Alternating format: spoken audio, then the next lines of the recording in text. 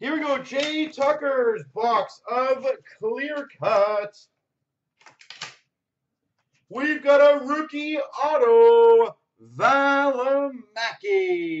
You so Valamaki? There you go, sir.